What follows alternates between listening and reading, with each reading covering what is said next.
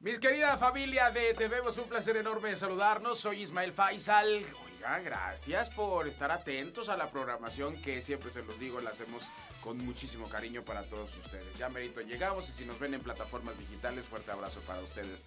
Platiquemos de espectáculos y vámonos unas eh, cuantas décadas atrás, vámonos a los noventas. Noventeros, miren, esto, pues vamos, no es que les vaya a gustar o no, pero van a recordar las Spice Girls, las, eh, esta gran banda que bueno nos regaló cantidad de éxitos en esta década para muchos eh, gloriosa del pop mundial. Bueno, pues ellas habían dicho que nunca más iban a volver a juntarse a cantar. La última vez que lo hicieron fue hace 10 años en la clausura de los Juegos Olímpicos de Londres, ¿se acuerda? Esa ceremonia de clausura donde eh, las cinco llegaban por diferentes partes del estadio y, se congregaban al centro y empezaban a cantar. Eh, fue glorioso ese espectáculo.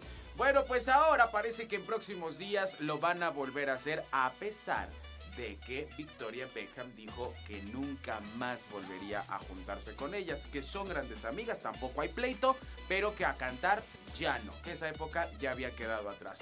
Pero viene el cumpleaños número 50 de Gary Halliwell de Ginger Spice, como se hacía llamar en la agrupación, va a cumplir 50 años la mujer. Ya andan cincuentonas las Spice. Y decidieron hacer un gran pachangón en la mansión de Gary, eh, allá en Londres.